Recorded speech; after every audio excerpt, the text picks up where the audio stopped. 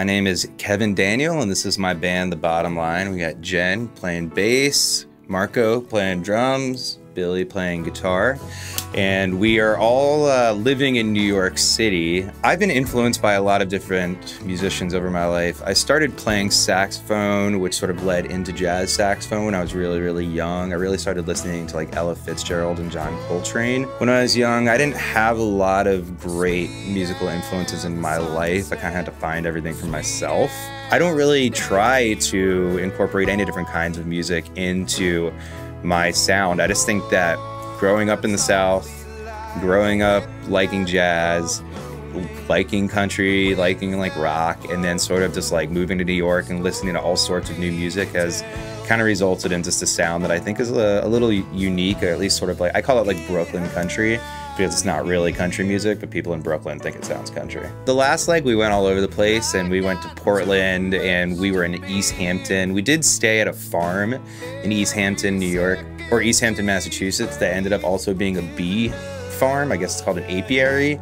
Uh, that was a little weird. That was kind of a creepy little place to stay. Luckily, none of us were allergic to bees, or else we wouldn't be here right now. Honestly, like you spend such like little time in the towns that you're in. Like we're going to Charlottesville for a couple days, but we have a radio gig during the day and then a gig at night. So we were literally just going to Charlottesville, playing music, and then leaving. I honestly think the weirdest parts is the rest stops. the rest stops are always so weird.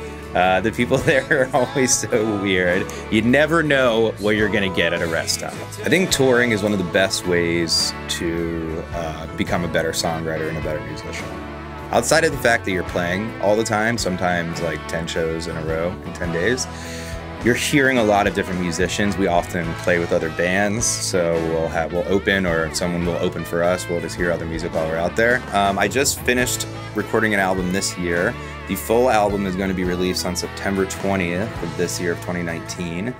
We are doing some more touring. Um, I think, I mean, I have a lot more gigs that I probably haven't even asked these guys about yet, so they probably don't know that they're going to be doing more touring with me. But we've got at least eight more days on this run, I think, eight or nine more days. And uh, then I've got a bunch of stuff coming up all over the country LA, New Orleans, Oklahoma. I'll be all up and down the East Coast again, back down in Nashville again. And really just working this album that's about to be released.